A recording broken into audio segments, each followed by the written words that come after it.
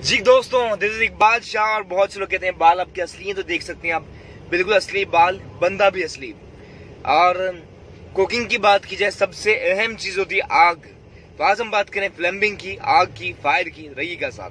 Yes guys आज हम आज हम बात करें आग के ऊपर। आग कौन ज़्यादा लगाता है? और हम पूछते हैं ईशा यहाँ आइए।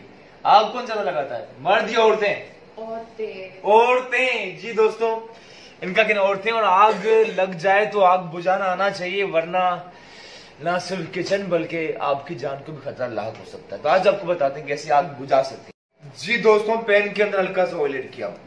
जब आप ऑयल एड करते हैं, उसमें जरा सा भी मॉइस्चराइजर आता है, आग लग जाती है। ठीक है बाजुकात अगर आपके पास ना तो तैयारी ना हो तो आग बहुत ज़्यादा खतरनाक भी हो सकती है। तो आप उसे दिखाते हैं।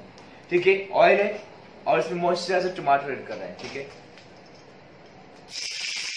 है जैसे रहेंगे इसके अंदर आप बहुत ज़्यादा नहीं लगा सकते क्योंकि टीवी चैनल के स्टूडियो में खतरनाक हो सकते हैं, लेकिन आपको थोड़ा से दिखा रहे हैं। ठीक है। बाजुकात पास रहिएगा बाजुकात कुकिंग ऑयल के अंदर भी आग लग सकती जब ऑयल बहुत ज़्यादा गर्म हो जाए।